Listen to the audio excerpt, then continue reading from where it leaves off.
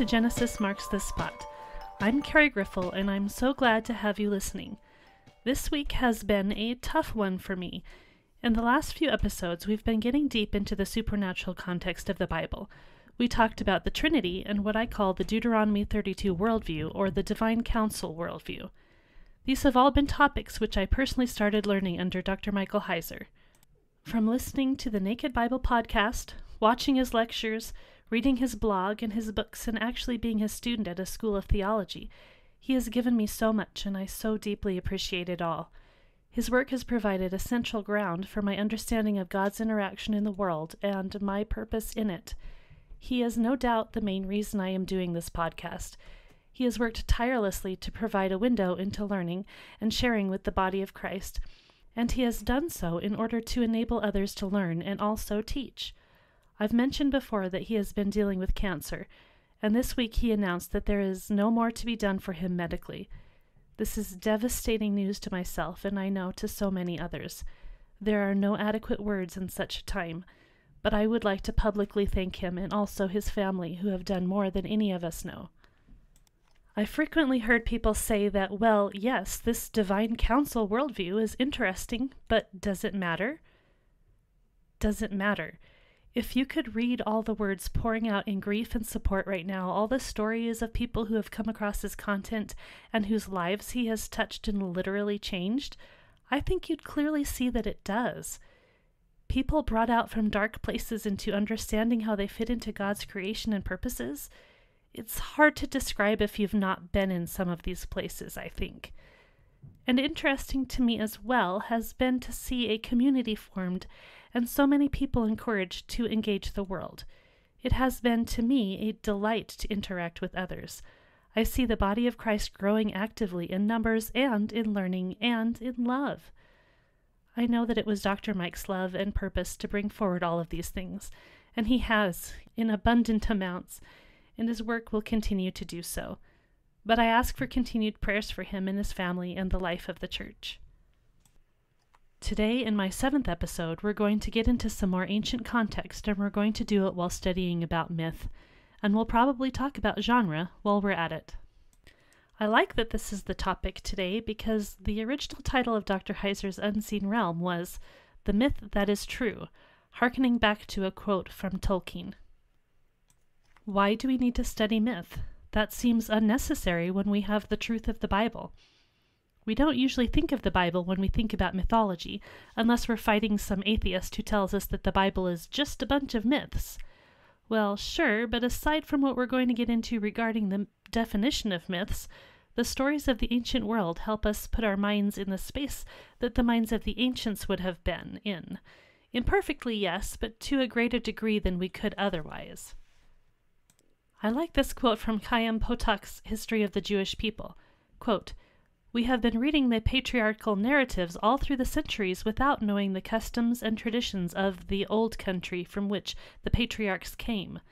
That is like looking at Irish and Italian Americans with no knowledge of Ireland or Italy, like trying to understand the American Southwest with no notion of the existence of Spain, like gazing at Plymouth and Concord and Boston without knowing that there is an England. Our main question in today's episode is what is a myth? If you call something a myth, doesn't that just mean it's fiction, a fairy tale, a lie? Well, if you've heard some of my other episodes, you might know what direction I'm going with that. I've discussed lies before, and I think people in general have some misconceptions as to what a lie is and is not. What's the Merriam Webster definition of a lie? Quote, to make an untrue statement with intent to deceive. To deceive, to be false, to ensnare, to cheat, to cause to accept as true or valid what is false or invalid.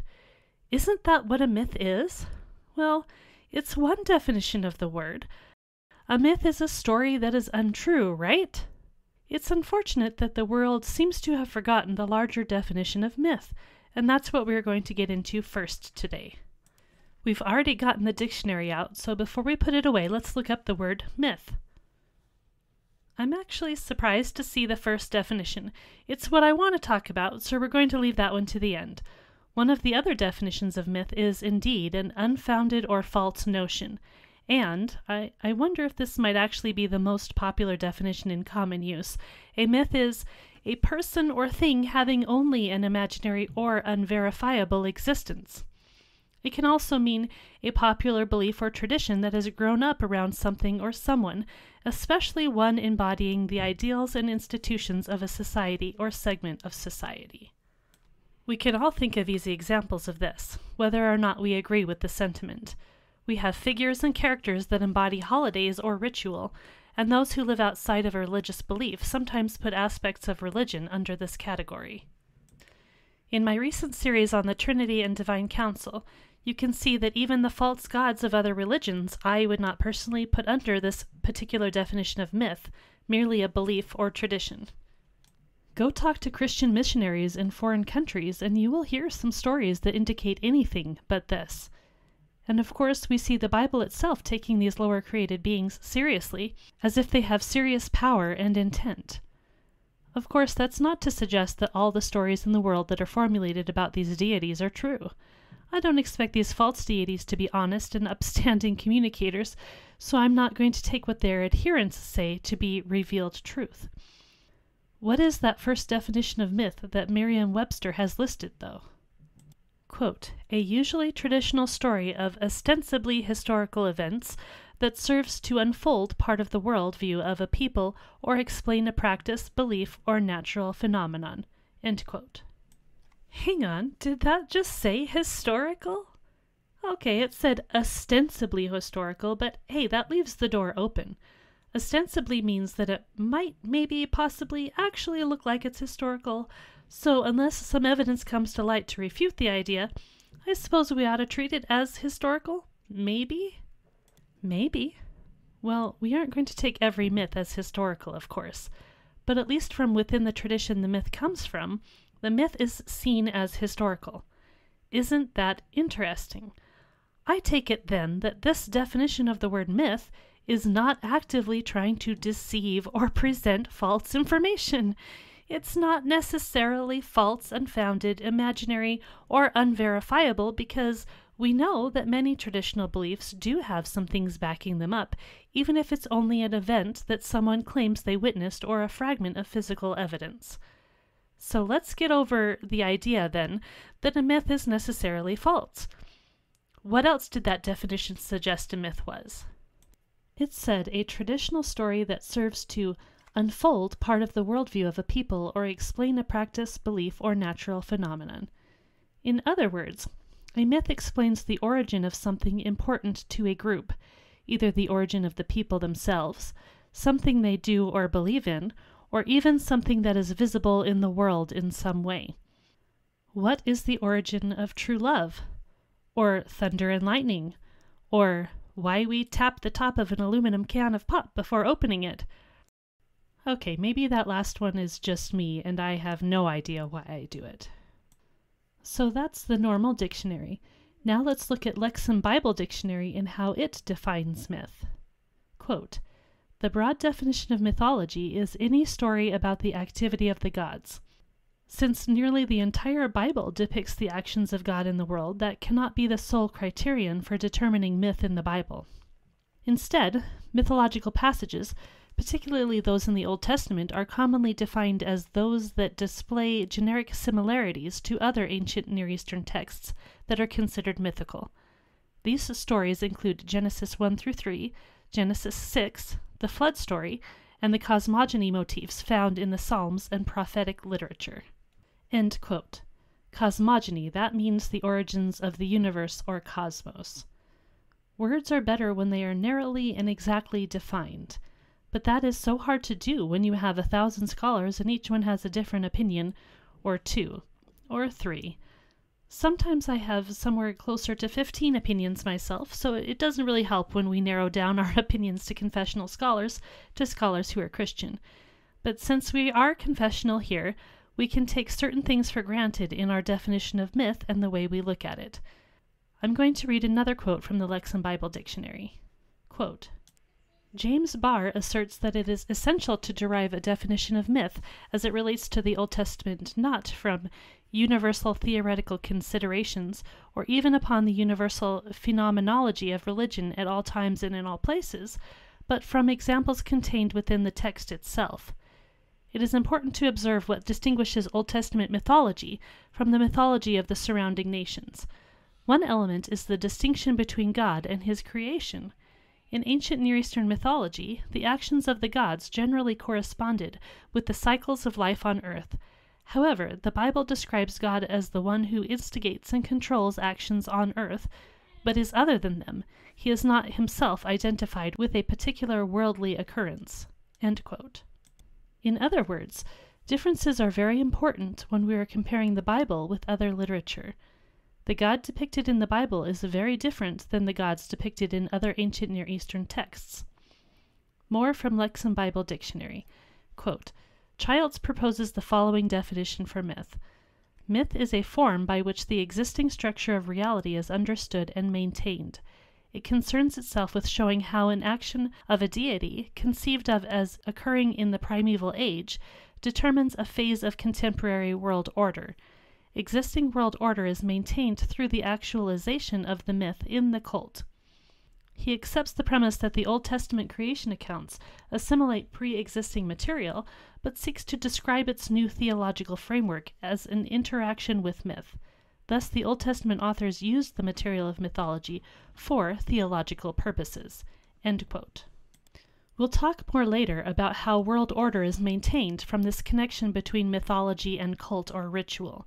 It's important to note here that assimilating pre existing material need not mean that the account is made up or that it is not revelation, but we won't belabor the point here. Right now, before moving on, I want to mention the genre of legend because this is often associated with that of mythology. The reason we associate the two is that one use of legend is for non historical stories that were nonetheless seen as historical by people of the past. Usually the past, anyway. People can claim that other people groups believe in legends today. It's a negative and critical accusation, in other words. Both myths and legends are seen as fiction in some sense. But as with the word myth, this is not the broadest or the only definition of the term legend.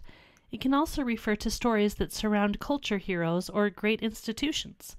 Usually we think of the versions that are about great heroes or kings. We are going to take this definition of legend, and thus we see that it is a separate conversation from that of myth, because legends involve humans, or at least partial humans, since we see many legendary heroes who were said to descend from the gods whereas mythology is centered around stories about the gods. You might wonder also about the category of epic. The word epic comes from the type of rhyming patterns in ancient writing. This category originally centered around the form rather than content of the writing, but most often ancient epics also fit under the category of either myth or a legend. To sum up our introduction to myth, we see that though there are many specific ways myth is defined, for our purposes, we might say that mythology is an origin story involving the gods or the supernatural. An even broader definition suggests that mythology is not all about origin stories, but rather any story involving a deity can be put into the category of mythology. You can now guess why modern secular scholars have influenced the idea that mythology equals untrue. Before we get into more specifics about myth and hopefully looking at some examples, I feel like we ought to look at what history is, since we've already opened the door that myth and history connect in some way. If myths are origin stories, then surely it is assumed by their audience to be historical. But a popular suggestion today is that it is not possible for myth to be historical, while at the same time myth involves the supernatural. Even Christians separate these two because it is not possible for every myth to be literally historically true. So literal historicity cannot be part of our definition of myth. But just hold that thought for a moment, because we're going to get into what history means, or at least how people view history. Neither Genesis, the Bible, nor any other ancient Near Eastern literature are the same as modern historical narrative. This fact influences much of modern scholarship because if the literature of the ancient Near East doesn't correspond to history in the way we think of it, then we're not going to evaluate it as history. In order to explore this, we need to understand historiography. Because history has been written in many ways, there is not one single way of understanding historiography, even though some modern historians seem to insist otherwise. There is often this attitude that it is their definition or else. Historiography is the study of the methods of historians. The problem with that, though, is that it then has to decide who historians are. And often modern scholars tend to land on a particular definition of historian, which precludes the way our earliest histories were written. Just like science, there is a historical method. This is the method that a historian today uses in order to construct a hopefully accurate picture of the past. Scientists have evidence that they then evaluate. Historians have sources which they likewise evaluate. This is how history today is done. One tool that historians use today is source criticism. Source criticism is the practice of evaluating the sources used by the historian. Source criticism looks at who produced a source, when and where it was made. They also evaluate the sources of the source, they evaluate the credibility of the source, including whether or not they have the original source or not. These all sound like reasonable points to study until you realize how much more difficult this becomes the further you go into the past. And that last point concerning credibility, that is a doozy. Historians have a hierarchy of sorts to determine reliability, which isn't necessarily the same as credibility, but impacts the determination. The evidence for reliability translates into credibility. I'm going to read these points, and I want you to consider whether or not it seems like ancient writers used these when writing about the origins of their societies. Point 1. Physical evidence is treated as more reliable than textual evidence. Their physical evidence was the existence of the world and how it fit into their narrative. Point 2 having what seems to be the original source is more reliable than a copy of the source. The ancient world lived on copying things. In fact, it seems like copying something that was previously written may have been a point in favor of something's reliability. Point 3. The closer in time a source was produced to the event, the more reliable it is seen. We do see evidence that they valued ancient sources themselves, since they sometimes went to lengths to make some piece of writing appear old. However, legitimacy seems to have stemmed from connecting a current event to the past in any way that they could, including writing something new that merely framed the current event in terms of what happened in the past. Point 4. Eyewitnesses are more reliable than secondary sources. We do see the value of eyewitnesses in ancient writing. This is why we see ghosts or visions of dead people who tell stories. But I don't think modern historians are very cool with ghost eyewitnesses.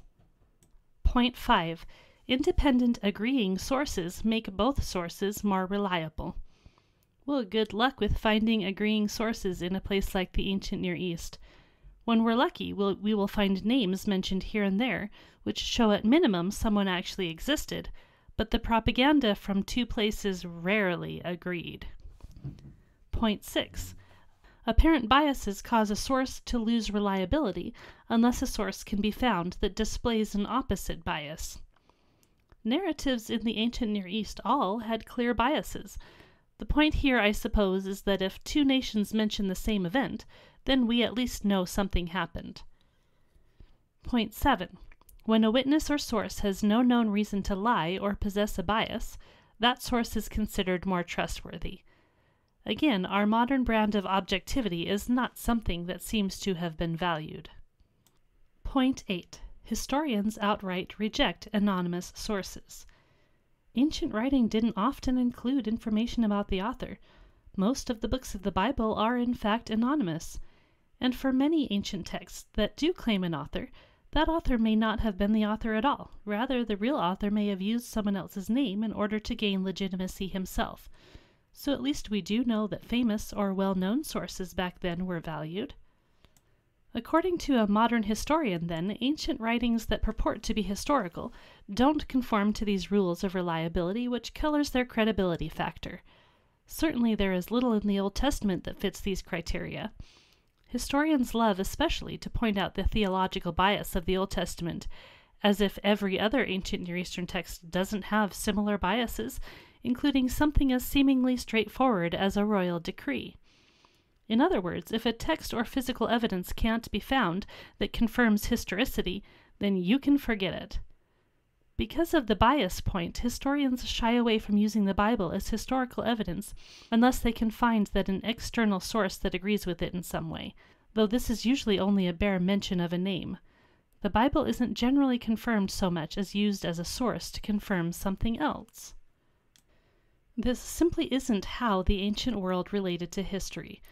I don't want to suggest that there is something wrong with wanting to see these things in order for us to formulate our concept of history, although these points do functionally make it difficult to develop credibility in many cases. If I had to justify the historicity of an event in my own life through these criteria, I might be hard pressed to do so. Most things in life simply aren't recorded with this level of backup. In any case, that's modern historiography, Ancient historiography so clearly does not correspond to this that comparing the two seems ridiculous. Back to our main topic. Modern scholars, as they have done in many areas since the 18th century or so, have really done some arrogant thinking when it comes to myth. I'm going to be referencing Kenton Sparks' book, Ancient Texts for the Study of the Hebrew Bible. In his chapter on myths, he mentions two scholars, Lévy-Bruhl and E.B. Tylor, who viewed the myths as the product of primitive and pre scientific modes of thought, a step on the evolutionary ladder that leads to modern humanity. Scholars like this talk about mistaken explanations of phenomena and primitive mindsets which didn't separate supernatural from natural. These scholars definitely reject the idea of anything like magic or ritual which might actually affect the world. These scholars are suggesting that pre scientific thought is somehow lesser than our new and improved, amazing scientific thinking. Though they profess to be scientists and scientists ought to be objective, these scholars are inserting value judgments into their assessments. Here is a quote from Lexham Bible Dictionary again. Quote, in the intellectual adventure of ancient man, Henry and H. A. Frankfort applied Tylor and Lévy-Bruhl's theories to the ancient Near East and argued that there is a distinction between modern humans and the ancients. Modern humans think philosophically, meaning they think abstractly, critically, and unemotionally. They interact with the world in, in an objective way. The ancients thought mythopoeically, meaning they thought concretely, uncritically, and emotionally. They interacted with the world in a subjective way. First of all, while there might be some reason to stereotype modern humans and ancient humans like this when talking exceptionally broadly, this actually seems to be a very cultural categorization. Who says that there are no modern humans who process things via myth? Who says that myths cannot be communicating abstract ideas? And who says that we are objective? It sounds very much like we are rooting this thinking in scientific materialism and implied modern superiority. After all, making categories like this at all is an example of abstract thinking.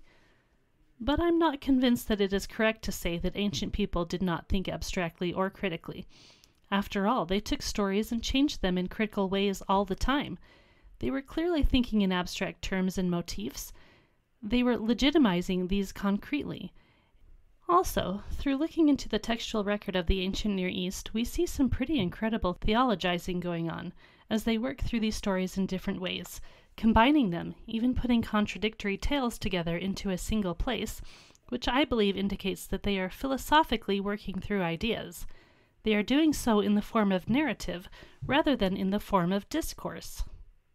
As Sparks says, it is difficult from our modern vantage to distinguish between theological compositions that the authors wholeheartedly believed and those that were products of theological speculation, but in either case, later readers took the compositions as serious expressions of truth. Now, I think it ought to be clear that there is nothing wrong with processing the world through our own cultural understandings. We don't need to turn around and chastise ourselves for our modern Western thought, just like the ancient person shouldn't expect himself to think like we do. These distinctions exist. We just need to be upfront about them so that when we come against another way of thinking, rather than judge it as a less effective way of understanding the world, we can appreciate it as a different way of understanding the world. We need not frame it as an us versus them dynamic.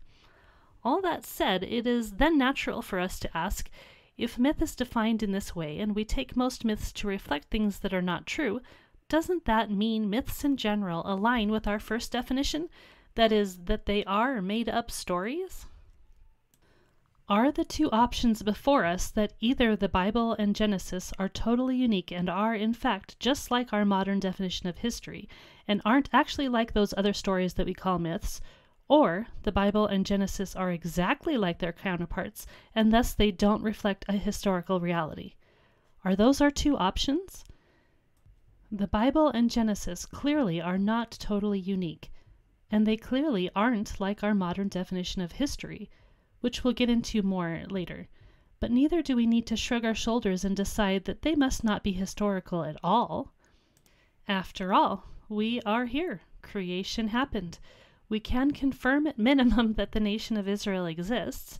These two things are far from proof that the text is scientifically or historically correct, but hey, no one can say there is no physical evidence around. But it's more than physical evidence we need particularly since this insatiable need for physical evidence is still putting all of our eggs in the scientific materialistic basket. Personally, I'm not interested in proving literal historicity one way or another. I'll leave that up to other people, as in fact the vast majority of us have to do anyway. What I am interested in doing is thinking, and that's something we can all do. We need a way to think about these things that encompasses the options that present themselves to us as truth. That is, how do we bring together the idea that the text is or can be in the genre of ancient Near Eastern myth, but is also much more than that? One need not be a modern historian or write in the way of a modern historian in order to record real events, of course. Because they wrote in the same way as their contemporaries does not mean that they were not writing actual accounts. This kind of thinking that has to be our way or the modern highway reflects a modern bias of superiority it is often the case that we must merely assume that they were not writing actual accounts. Let's circle back to our point. The question is to put it another way if we don't ascribe historicity to other ancient Near Eastern myths, then how could we possibly ascribe historicity to the Bible, which is so similar to these other myths? We can focus for a moment on the first chapters of Genesis, since they are called the primeval history, and primeval refers to the earliest age or the origins of all things. How and to what extent can we call Genesis 1 to 11 historical?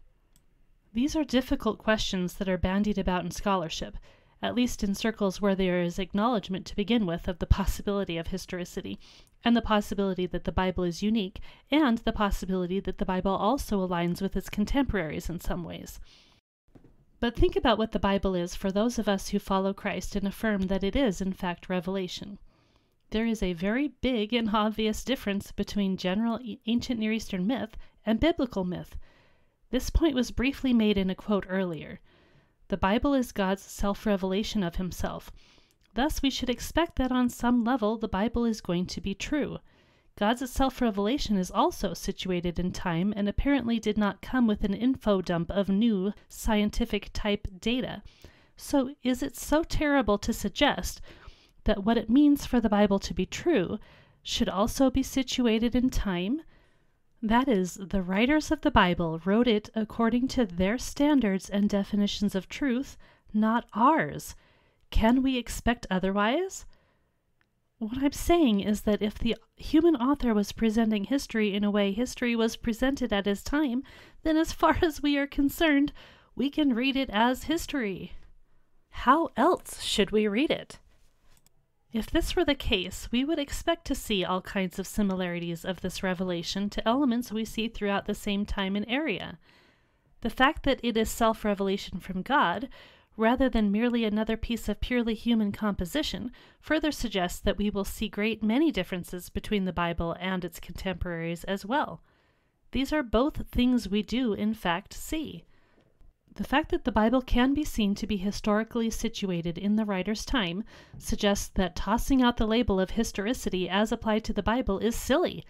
The Bible is definitely historically oriented writing. It was both written in a real time and place, and it was definitely understood by its recipients to be historical. if we choose to believe it is not historical simply because their vision of doing history doesn't line up with our vision of doing history, that's our opinion, not theirs, and doesn't reflect on the genre or purpose of the writing. And I don't think it reflects on God either, because who says that he has to insist on our definition of historical writing?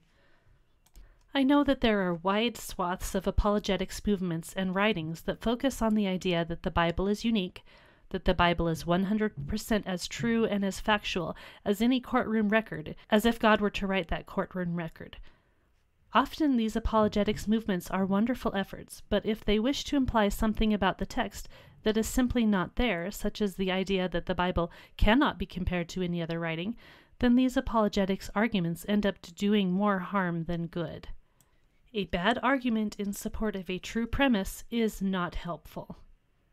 One thing to keep in mind is that though there are similarities between the Bible and other literature which put the two in the same genre and category, the dissimilarities between the material are also vast. These dissimilarities are enough to widely impact the way we study and look at the material. Also, it seems obvious to me that the accuracy or truth or inerrancy of Scripture, however you personally want to put it, is not something that we impose on Scripture, but rather is something that arises from Scripture itself. This is, of course, compounded by evidence that is external to the Bible. As such, in order to analyze what it means that it is inerrant, to see it this way, we need to analyze Scripture within its context. This requires that we look at genre, look at situational context, look at the purpose of the writer and the time. Those are all things we're going to look at when judging anything like accuracy or truth. If instead we want to impose an external standard of inerrancy on Scripture that does not arise from its pages itself, well, good luck with that. Said another way, we are going to judge a child's second grade essay on his pet turtle quite differently than we are going to judge an article written by a herpetologist. The instant we take Scripture out of its own context and put it into a foreign one is the instant we lose the idea we can even talk about inerrancy unless we are content to suggest that the situational context and cultural genre of the books are of no importance whatsoever. My point is, there is no need to erase the unique elements of the time or people who wrote and edited the Bible. We ought not to suggest that the humans who wrote the Bible had nothing to do with writing of the Bible. Doing so would lift the Bible out of its historical context. It would make it, in a sense, less historical. It would make the Bible harder to read and understand because the way we understand ancient languages is by studying them in association with other ancient languages. Here's a question do historians use myths? Considering the points I laid out before, you might be tempted to say that they don't. But they do. They use Egyptian mythology, for instance, to study the reigns of pharaohs. Egyptian mythology is, I believe, crucial to Egyptian chronology. The inclusion of God narratives in texts which reference pharaohs do not preclude historians from using these texts. So we must ask why there is a double standard for why the Bible is not used also to confirm the historicity of past events. It's an interesting question, but now let's look more closely at the genre of mythology. Though there are many frameworks within which we can study mythology, such as comparative anthropology, psychology, and theology, we are going to focus on comparative literature. First of all, it's helpful to suggest and realize that just because we have categories in place to sort our texts into, that does not mean our text needs to be confined to what we say about this label in general. It might be more useful to ask what the intention of the text is. But looking at the intention of the text is already one major way we compare it with other texts, although for many texts it is difficult, if not impossible, to uncover the actual original purpose, so we are often left with looking at the content rather than the way the text was used. The trouble we get into is when we start to impose our ideas and values into the meaning. That's the point where we're getting into with a discussion on history. When we want to tell the ancient person that their intention of explaining their origins is not historical, then we are judging their intentions by our standards. That's that's a major problem if you ask me. Let's get into how scholars talk about comparative literature. Form criticism is a fancy name for studying genre. It looks at the form of literature and works to fit it into a context through which we can compare diverse pieces of literature with one another. What was the purpose of the text? How did it or does it function in society? What are common elements that the text has with others of its contemporary time? The dissimilar elements matter too, but first we must look at the similarities. We don't want to go comparing a legal ruling with the rules of a board game. The important thing is to keep our study and our value judgments rooted in the time and culture, rather than trying to meld it with the way we think today. This is harder than it might seem, and we might even think we are being successful at this when we're actually not, so it's something to keep in mind. At any rate, because we are far from the original writing and editing of the text, the common reader tends to miss genre clues. What are the genre clues of mythology? Archetypes or symbolic figures. Archetypes to us often suggest an element of unhistoricity when this is not necessarily the case. George Washington or Abraham Lincoln, for instance, were real people, but many think of them as archetypical presidents. There were many emperors of Rome, but we tend to lump all of them into one or two historical Caesars. Real figures can become the symbol of the office or position. All other examples are compared to these archetypes or include them in some real historical way. Every president has a political lineage of sorts that can be tracked back through history to the archetype, even if in antagonistic reaction. In addition to archetypes and symbolic figures, myths are set in a particularly significant time, or they might be set outside time entirely or in some primeval era. Of course, myths have divine beings interacting with and affecting the world in some way. I think I mentioned this before, but myths are narrative outworking of a particular worldview. They are, in other words, foundational and explanatory.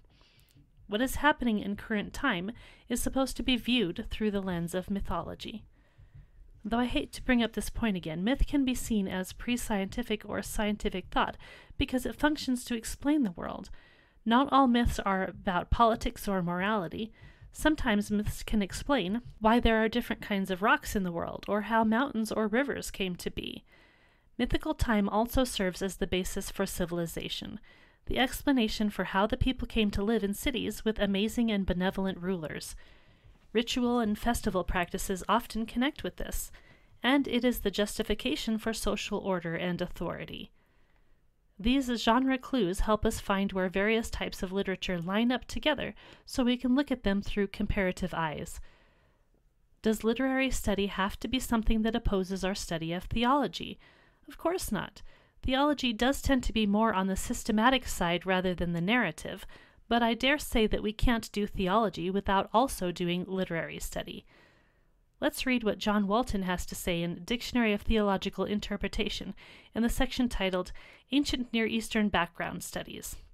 Quote, we have come to think of the material provided by comparative studies as anti theological, when in reality it has the potential to serve as a guide to understanding some of the theology of the text. Here is the extended syllogism. If a. Comparative studies provide a window to the ancient worldview, and b. Israel in large measure shared that ancient worldview, and c. Revelation was communicated through that worldview, and d. That revelation embodies the theological teaching of the text, then comparative studies become crucial to the theological understanding of the Old Testament. If you don't know what a syllogism is, a syllogism is deductive logic, where you have a premise or initial concept that builds up through related premises to reach a conclusion. This makes up a logical argument, not the kind of argument that is a disagreement, but an argument that forms a type of logical evidence. In a properly constructed argument, if the premises are all correct, then the conclusion is correct. So, what Dr. Walton is saying here is that comparative studies help us understand the worldview of the Bible. If revelation and thus theology is communicated through this worldview and this revelation, then comparative studies are extremely important to understanding theology.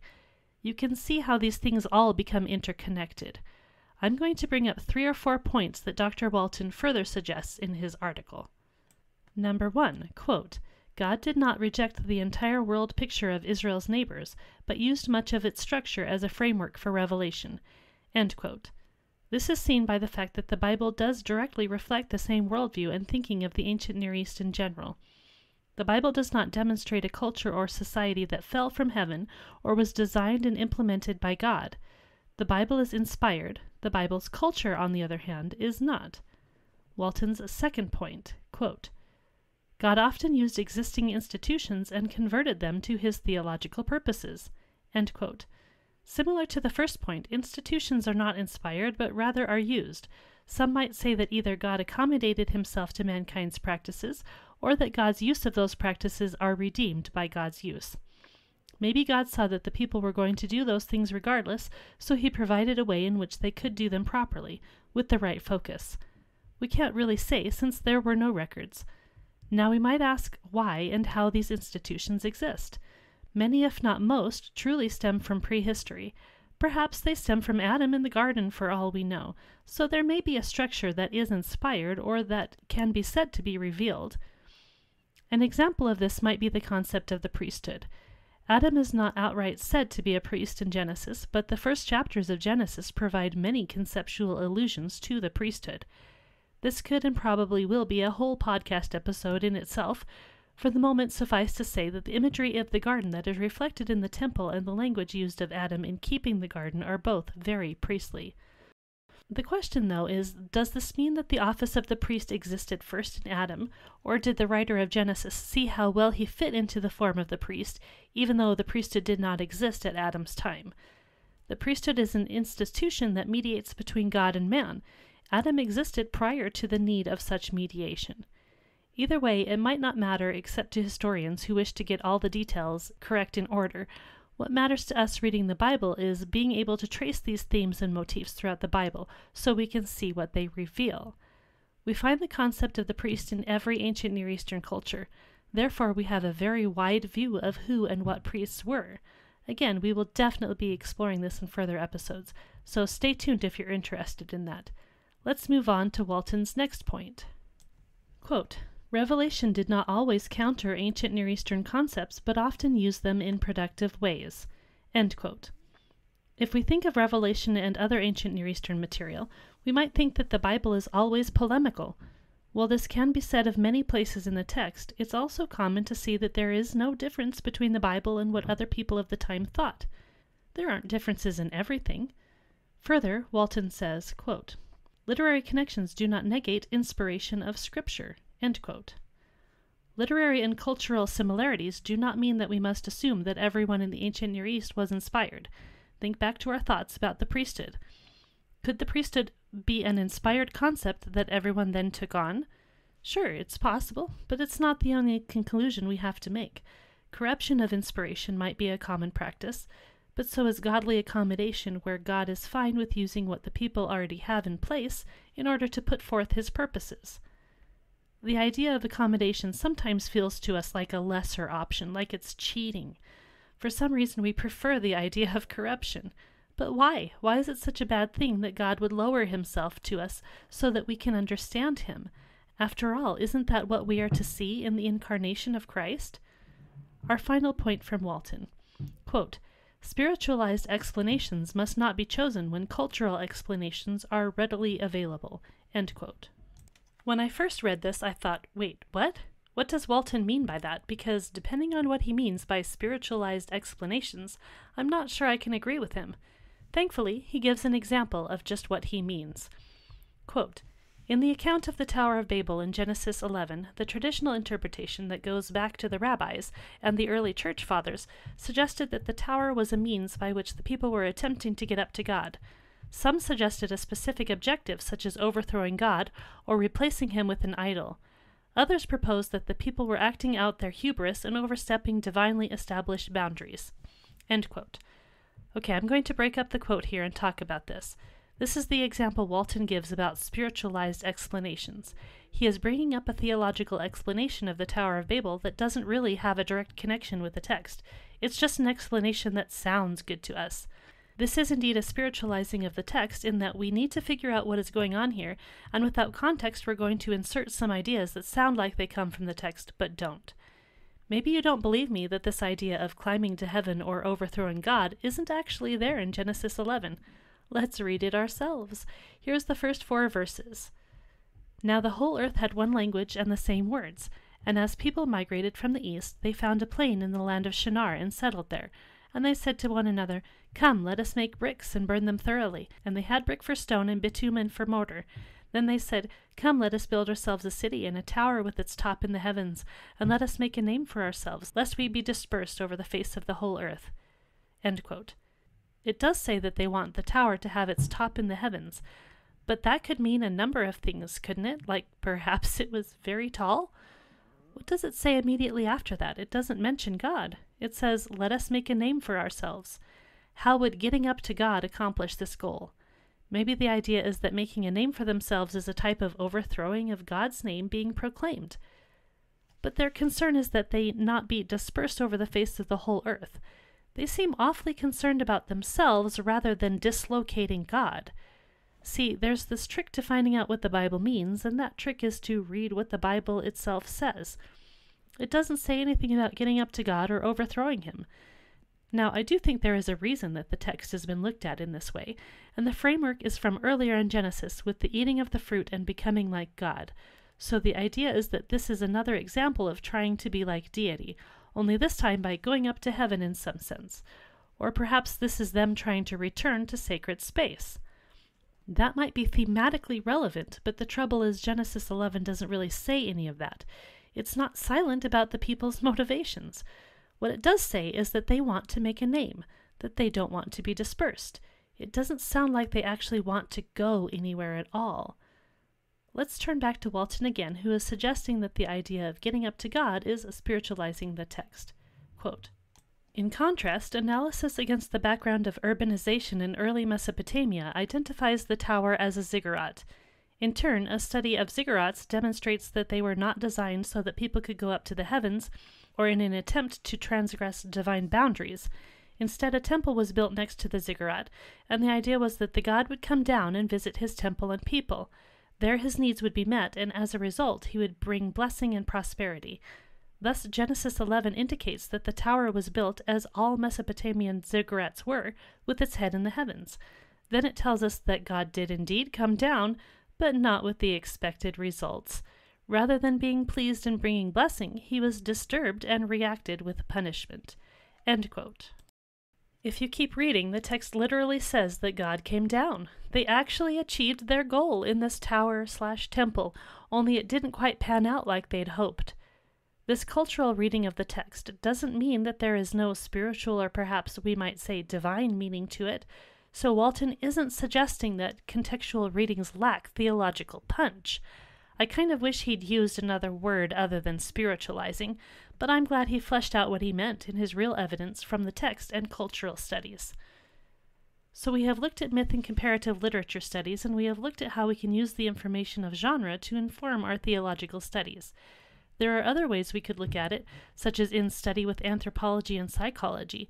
These methods of study, though very valuable, often transcend time, and right now in this episode we are primarily concerned with trying to immerse ourselves in the thought of the ancient world. I would be remiss if I ended the discussion about looking at myths from a modern perspective without mentioning that famous quote that Dr. Heiser took his initial book title from. Perhaps you know the story where C.S. Lewis was walking with two close friends, one of them J.R.R. Tolkien, who was then working on writing The Lord of the Rings, and Lewis told them how much he loved myths, but lamented that they were all lies. Apparently, Tolkien greatly took issue at this and expounded the beauty of the myths that Lewis loved. He argued that Lewis loved myths not in spite of the fact that they are lies, but because they actually hold deep, deep truth. In Humphrey Carpenter's 1977 biography, Tolkien is quoted as saying, Just as speech is invention about objects and ideas, so myth is invention about truth. We have come from God, and inevitably the myths woven by us, though they contain error, will also reflect a splintered fragment of the true light, the eternal truth that is with God. Indeed, only by myth making, only by becoming a sub creator and inventing stories, can man ascribe to the state of perfection that he knew before the fall. A month later, C.S. Lewis wrote to a friend and said that the story of Christ is simply a true myth, a myth working on us in the same way as the others, but with the tremendous difference that it really happened. The Bible records the myth that is true. I fully believe that deep truths are embedded into our greatest stories, including myth. There are truths that abide through all time, truths that do not die. We are both incredibly similar as well as incredibly dissimilar to the ancient writers of the Bible. We need to understand the way they thought, their conceptions of reality, what they find important, how they related to things around them, and by studying mythology at large, we can study these similarities and differences that lie between us and the original recipients of the writings that make up the Bible. What things stand out about God's revelation in comparison to the other material of the time, and what things are the same?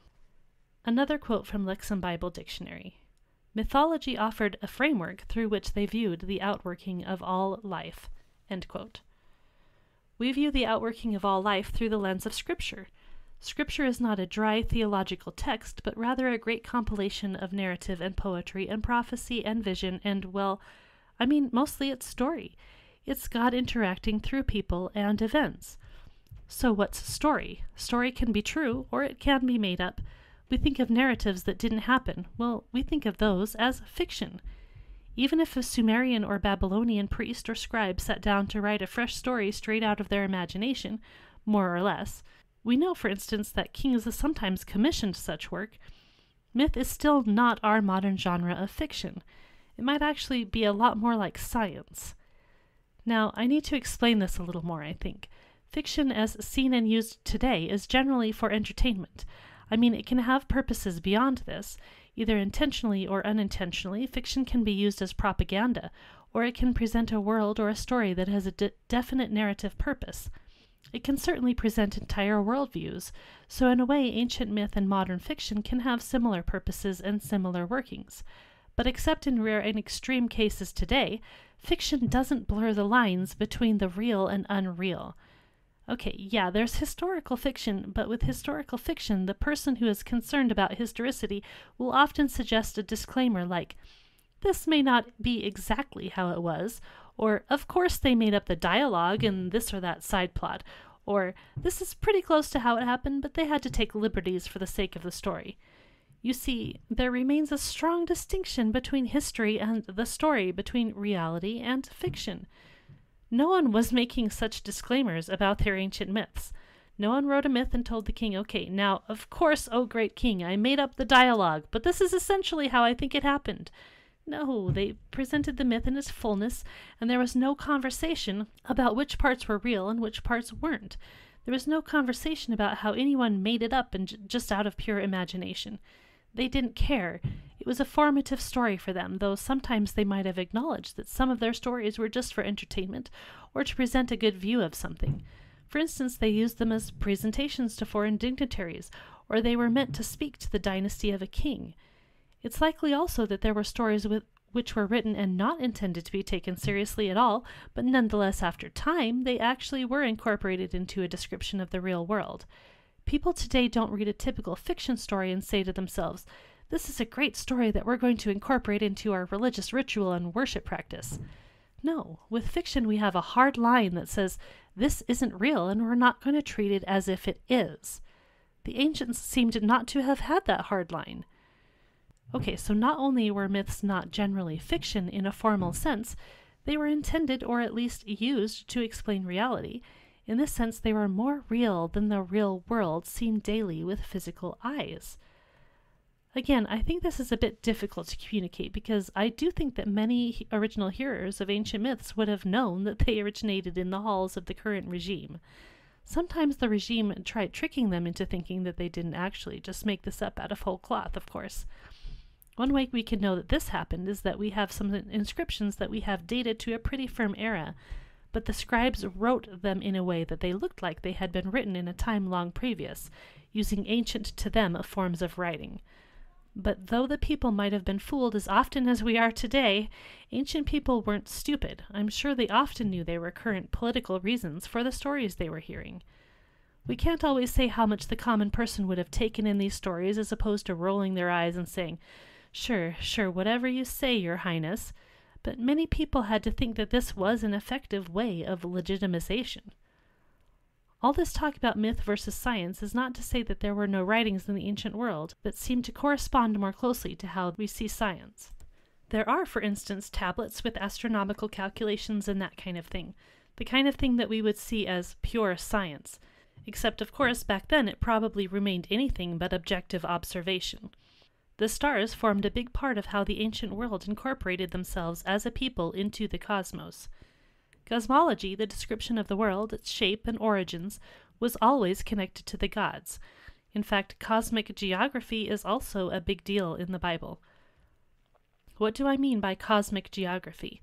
This is the melding of the physical world with the world that we cannot see, the world of the gods, on earth as it is in heaven. The boundaries of nations, the tops of mountains, groves of trees, rivers, these were not only physical aspects of the earth, they had some importance to the realm of the gods. In addition to the way the world was seen to work, myth also had much to do with the way that politics worked. Myths were often used for propaganda or flattery. They were used as polemics to show which god was the greatest and why one people was conquered and another people became the victor. Another quote from Sparks What is interesting about these polemic exemplars is how close to their content and form was to the myths with which they competed. This suggests, not surprisingly, that polemical myths were most effective when they adhered closely to accepted mythical patterns. This is interesting because we can see polemical elements in the Bible, so it should not be surprising to find other texts which reflect so closely to the biblical ones, since this was such a common practice at the time. What would be strange is if the Bible didn't participate in these types of common tropes of writing. It is also quite possible that other people took the stories of the Bible, perhaps especially the earliest tales, and made them their own, either through direct correspondence or through the fact that both the Bible and the myth arose from a common earlier source. Sadly, our historical record from the earliest millennia of writing is far, far from complete. Another important point that relates to this is how often mythic motifs were reused in the ancient world. They were really not a people who seemed to prize narrative originality. As Sparks says, quote, as a general rule, the traditional societies of antiquity would not have embraced excessive theological novelty. Editorial work is quite obvious in the existing ancient writing that we have, including stringing stories that seem to have been separate before into now cohesive narratives, or at least mostly cohesive. Now, I don't know about you, but I still find it difficult to think this way. When I read a modern novel, I expect it to be cohesive. I expect it not to include any elements that aren't integral to the plot, to be innovative and fresh and original. This is not how the ancients wrote. They wrote for their own purposes, and they did not have our sensibilities. A good example of ancient people bucking against what we would expect them to do is in the realm of parallel text traditions. I mean, where we have the same story or the same characters in different narratives, so that either the same thing is happening to different gods, or the same god is doing the same thing but in radically different ways. Many times these are details between these parallel stories that do not match up. It might make perfect sense to see a similar text from two different places which contradict one another, but what is strange is when we see these contradictions within one place and time where surely people would have seen and cared about the discrepancies, wouldn't they? I assume they care because I assume they are concerned with consistency. I find myself thinking about it in terms of chronology and facts and accuracy. They seem to have thought quite differently than me. For instance, have you ever tried to understand Egyptian cosmology and origins of the world? I want there to be a nice systematic way that they taught this. But it's a mess, an absolute mess. It's a mess in part because of Egypt's long history and transfer of power through dynasties and war and the like. Different gods were seen as more powerful at different times because of a change of the seat of power, and that kind of thing. But it's also a mess because they have contradictory texts about gods within the same temple, written or at least transcribed at the same time. In the temple of Horus at Edfu, there are five accounts of Horus's victory over Seth. Five! These accounts are written right next to each other.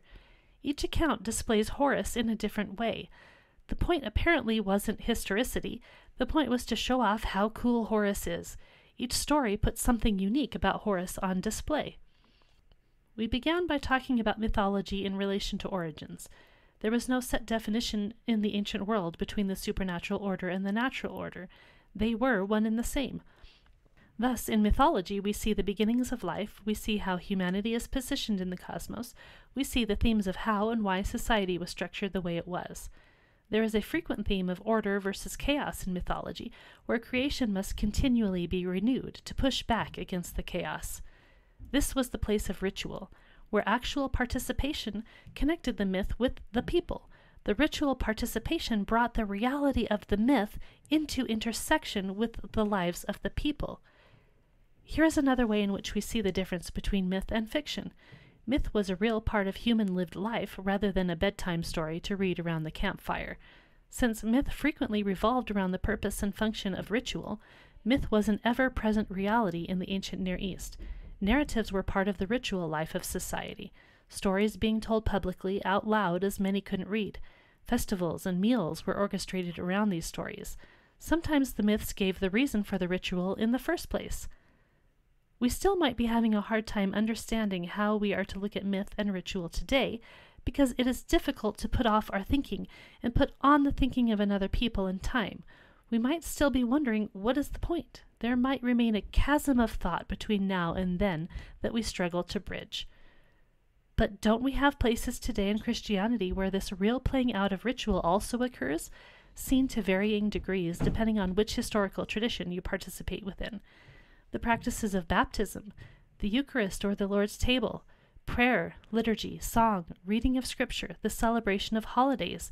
These are all ways in which we participate in our formative narratives as a people. We push back against the forces of darkness and chaos when we participate in these things. We find ourselves renewed, recreated in a real sense, a literal sense. These things actually matter. I was hoping to get into more nitty gritty details of some actual examples of myths in this episode, but it was first essential to lay down some groundwork for the importance of myth and how it becomes useful in our Bible study, since I don't want to suggest that these are only interesting esoteric details. In order to be able to connect the details of ancient Near Eastern mythology into our own worldview in some way, we need first to understand where and how they intersect with what we already have. I am hoping that you can see how thinking about the literature like this can help us explain these textual connections. Too often I see people jump to one conclusion and stay there, not knowing that there were other conclusions that were within jumping distance. The idea that the Bible is just like any other ancient Near Eastern literature, and thus is not reliable revelation, is simplistic thinking. The idea that the Bible might not always conform to our idea of history is often a great and unnecessary stumbling block in the faith of many. And the suggestion that there is only one right way to interpret the Bible is a sad state of affairs that divides many in the body of Christ unnecessarily, or casts negative light on those with whom we should be studying the Bible. Thank you once again for listening to Genesis Marks the Spot. I am truly humbled that you all choose to join me on my journey of exploration here, because I learn new things myself with every episode I research. And thanks to those of you who come interact with me online in social media and through email as well. For those interested who aren't already there, you can find me in the world of Facebook at Genesis Marks the Spot, and you can email me at genesismarksthespot at gmail.com. Feel free to send me